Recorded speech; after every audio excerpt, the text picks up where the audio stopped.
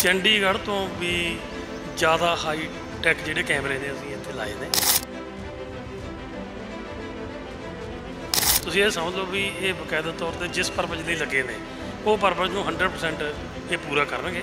450 ਦੇ ਕਰੀਬ ਕੈਮਰਾ ਜਿਹੜਾ, ਉਹਦੀ ਅੱਖ ਉਹ ਹਰ ਇੱਕ ਐਕਟੀਵਿਟੀ ਤੇ ਮੋਹਾਲੀ ਤੇ ਰਹੂਗੀ। ਚੰਡੀਗੜ੍ਹ ਦੇ ਵਿੱਚ ਇਹ ਸਾਰਾ ਕੰਮ ਹੋਇਆ ਸੀ ਤੇ ਮੋਹਾਲੀ 'ਚ ਕੁਝ ਹੋਇਆ ਨਹੀਂ ਸੀ ਹੋਇਆ। ਇਸ ਕਰਕੇ ਇਦਾਂ ਲੱਗਦਾ ਸੀ ਵੀ ਇੱਥੇ ਕੋਈ ਕਿਸੇ ਕਿਸਮ ਦੀ ਸਰਕਾਰ ਆ, ਕੰਮ ਕਰਾ ਨਹੀਂ ਰਹੀ ਹੈਗੀ। ਮੈਂ ਸਮਝਦਾ ਵੀ ਇਹ ਜਿਹੜੀ ਅਸੀਂ ਸਾਰਾ ਪ੍ਰੋਜੈਕਟ ਲਾ ਰਹੇ ਹਾਂ ਕੱਲਾ ਚਲਾਨ ਕਰਨਾ ਹੀ ਨਹੀਂ।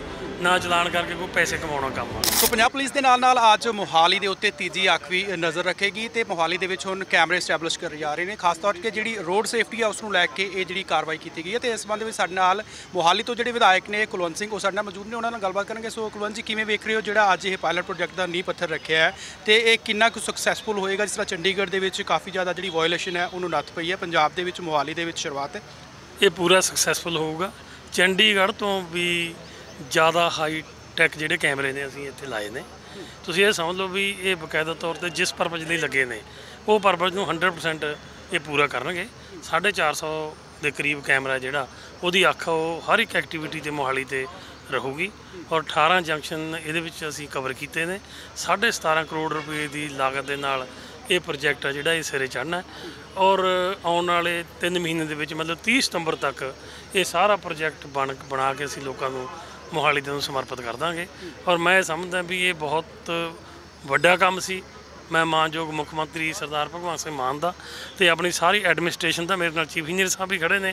ਇਹਨਾਂ ਨੇ ਵੀ ਦਿਨ ਰਾਤ ਇੱਕ ਕਰਕੇ ਇਹ ਕੰਮ ਕੀਤਾ। ਮੈਂ ਸਾਰਿਆਂ ਦਾ ਧੰਨਵਾਦ ਕਰਦਾ ਵੀ ਜਿਨ੍ਹਾਂ ਨੇ ਇਹ ਕੰਮ ਸ਼ੁਰੂ ਕਰਾਉਣ ਦੇ ਵਿੱਚ ਸਹਿਯੋਗ ਦਿੱਤਾ ਹੈ ਤੇ ਮੋਹਾਲੀ ਨੂੰ ਜਿਹੜਾ ਨੰਬਰ 1 ਸ਼ਹਿਰ ਬਣਾਉਣ ਵੱਲ ਇਹ ਇੱਕ ਵੱਡਾ ਕਦਮ ਆ। ਮੈਂ ਸਮਝਦਾ ਇੰਟਰਨੈਸ਼ਨਲ ਸ਼ਹਿਰ ਬਣਾਉਣ ਵੱਲ ਇੱਕ ਇਹ ਵੱਡਾ ਕਦਮ ਆ। ਮੋਹਾਲੀ ਚੰਡੀਗੜ੍ਹ ਦੇ ਨਾਲ ਪੈਂਦਾ ਹੈ ਤੇ ਚੰਡੀਗੜ੍ਹ ਦੇ ਵਿੱਚ ਇਹ ਸਾਰਾ ਕੰਮ ਹੋਇਆ ਸੀ ਤੇ ਮੋਹਾਲੀ 'ਚ ਕੁਝ ਹੋਇਆ ਨਹੀਂ ਸੀ ਹੋਇਆ।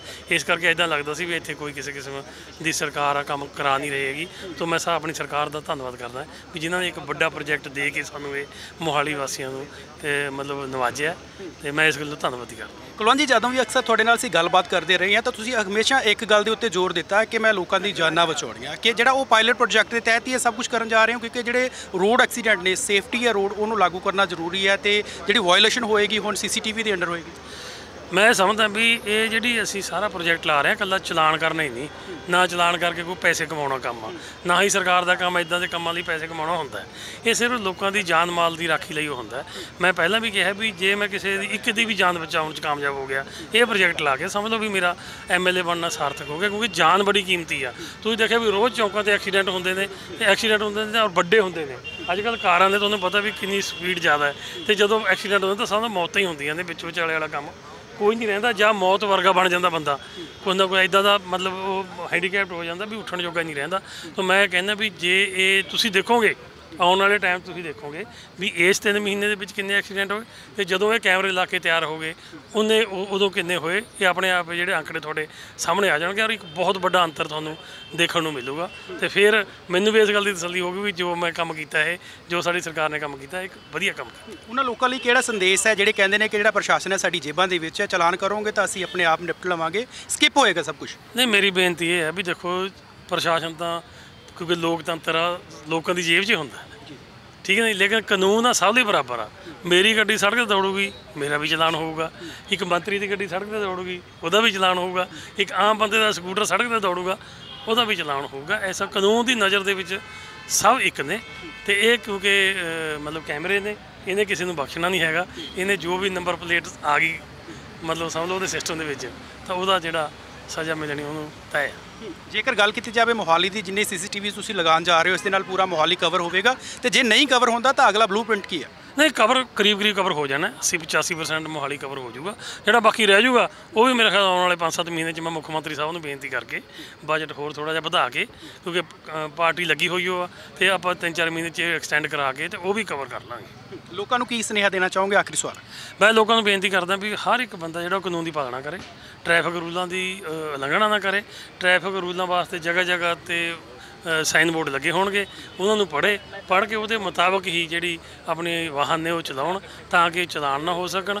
ਔਰ ਨਾ ਹੀ ਉਹਨਾਂ ਦੀ ਜੇਬ ਦੇ ਵਿੱਚੋਂ ਪੈਸਾ ਜਿਹੜਾ ਉਹਨਾਂ ਦੀ ਖੂਨ ਪਸੀਨੇ ਦੀ ਕਮਾਈ ਹੋ ਜਾ ਸਕੇ ਤੇ ਨਾ ਹੀ ਕੋਈ ਐਕਸੀਡੈਂਟ ਹੋ ਸਕੇ ਨਾ ਹੀ ਕੋਈ ਮਾੜੀ ਘਟਨਾ ਵਾਪਰ ਸਕੇ ਨਾ ਹੀ ਕੋਈ ਕੈਜੂਅਲਟੀ ਹੋ ਸਕੇ। ਕੁਲਵੰਤ ਜੀ ਸਾਡੇ ਨਾਲ ਗੱਲਬਾਤ ਕਰਨ ਲਈ ਬਹੁਤ ਬਹੁਤ ਧੰਨਵਾਦ। ਥੈਂਕ ਯੂ ਸਤਿ ਸ਼੍ਰੀ ਅਕਾਲ। ਸੋ ਇਸ ਸਨ ਮੋਹਾਲੀ ਤੋਂ ਵਿਧਾਇਕ ਕੁਲਵੰਤ ਸਿੰਘ ਜਿਨ੍ਹਾਂ ਦੇ ਵੱਲੋਂ ਸਾਫ਼ ਤੌਰ ਤੇ ਕਿਹਾ ਗਿਆ ਹੈ ਕਿ ਹੁਣ ਜਿਹੜੇ ਸੜਕਾਂ ਤੇ ਵਾਹਨ ਚੱਲਣਗੇ ਚਾਹੇ ਉਹ ਮੰਤਰੀ ਹੋਣ ਸੰਤਰੀ ਹੋਣ ਭਾਵੇਂ ਆਮ ਨਾਗਰਿਕ ਹੋਣ ਜੇ ਉਹ ਵਾਇਓਲੇਸ਼ਨ ਕਰਦੇ ਨੇ ਰੂਲ ਤੋੜਦੇ ਨੇ ਤਾਂ ਚਲਾਨ ਉਹਨਾਂ ਦਾ ਵੀ ਹੋਵੇਗਾ ਤੇ ਸਾਫ਼ ਤੌਰ ਤੇ ਉਹਨਾਂ ਦੇ ਵੱਲੋਂ ਲੋਕਾਂ ਨੂੰ ਅਪੀਲ ਵੀ ਕੀਤੀ ਗਈ ਹੈ ਕਿ ਉਹ ਜਿਹੜਾ ਪੁਲਿਸ ਪ੍ਰਸ਼ਾਸਨ ਹੈ ਉਸ ਦਾ ਵੀ ਸਾਥ ਦੇਣ ਜਿਹੜੇ ਰੂਲ ਨੇ ਉਹਨਾਂ ਨੂੰ ਫੋਲੋ ਕਰਨ ਤਾਂ ਕਿ ਜਿਹੜੀ ਵਾਇਓਲੇਸ਼ਨ ਹੁੰਦੀ ਆ ਰੋਡ ਐਕਸੀਡੈਂਟ ਹੁੰਦੇ ਨੇ, ਉਹਨਾਂ ਤੋਂ ਬਚਿਆ ਜਾ ਸਕੇ ਤੇ ਕੁਲਵੰਤ ਸਿੰਘ ਦੇ ਵੱਲੋਂ ਇੱਕ ਖਾਸ ਗੱਲ ਦੇ ਉੱਤੇ ਜ਼ੋਰ ਦਿੱਤਾ ਗਿਆ ਹੈ ਕਿ ਜੇਕਰ ਇੱਕ ਜਾਨ ਵੀ ਬਚਦੀ ਹੈ ਤਾਂ ਜਿਹੜੀ ਮੇਰੀ ਐਮਐਲਏ ਸ਼ਿਪ ਹੈ, ਮੈਂ ਉਹਦੇ ਵਿੱਚ ਕਾਮਯਾਬ ਹੋ ਜਾਵਾਂਗਾ ਕਿ ਮੈਂ ਲੋਕਾਂ ਲਈ ਕੰਮ ਕੀਤਾ। ਹੁਣ ਵੇਖਣਾ ਹੋਵੇਗਾ ਕਿ ਆਉਣ ਵਾਲੇ ਦਿਨਾਂ ਦੇ ਵਿੱਚ ਜਿਹੜੀ ਇਹ ਤੀਜੀ ਆਖਿਆ ਮੋਹਾਲੀ ਦੇ ਵਿੱਚ ਕਿਸ ਤਰ੍ਹਾਂ ਕੰਮ ਕਰੇਗੀ।